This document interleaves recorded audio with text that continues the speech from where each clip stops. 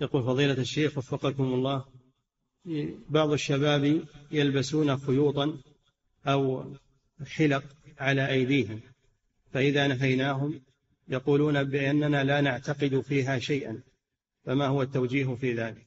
لا يجوز لهم أن يلبسوا على أذرعهم شيئا لأنه إما من التشبه بالنساء أو التشبه بشباب الغرب الذين يلبسون السلاسل ويلبسون على أذرعهم الخيوط وغير ذلك. فلا يلبسون هذه الأشياء. نعم.